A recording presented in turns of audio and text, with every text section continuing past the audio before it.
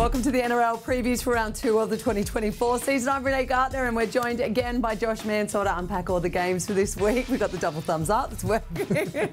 Friday night kicks off at Shark Park with the Sharks taking on the Bulldogs. Uh, we're going to look at the Sharks first a big bounce in their step, a yes. win in New Zealand, which is a massive, minimal changes to their lineup as well too. What do you like about the Sharks heading into this game? Massive scalp for the Sharks. Well, you look at their Achilles heel last year, they just couldn't beat any top eight sides. They just couldn't have that nerve in big games, and to win in New Zealand, particularly with the whole country on riding the wave yeah. up the wires, um, yeah, it was a massive win for the Sharkies. Yeah, all right. Well, over to the Bulldogs, uh, and although they're yet to get the two points, mm. Was really quite happy uh, with their defensive efforts. He expected the clunkiness yeah. attack. Just yeah. uh, I hate using that word, but how can the Bulldogs correct themselves, um, mostly in their attack, just to like improve that cohesion going forward? I feel like yes, they did improve, but uh, how much improvement is left? Like there's still quite a bit to go. Um, yeah, they were clunky. Yeah, they're essentially playing with a whole new 17, so it is going to be a slow building in progress, but.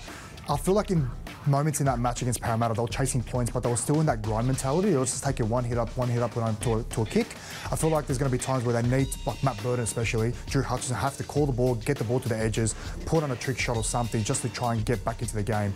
Uh, it's great to be in that kind of arm wrestle mentality, but not when you're chasing points. Well, especially when they were burning so much more energy mm. defensively, mm, and then that burnt them out in the attack, right? especially, and you're coming up against a Sharks side who are going to do that. got, one the, got one of the fittest forward packs in yep. the comp, so they are going to have to work for it. Where's this game one?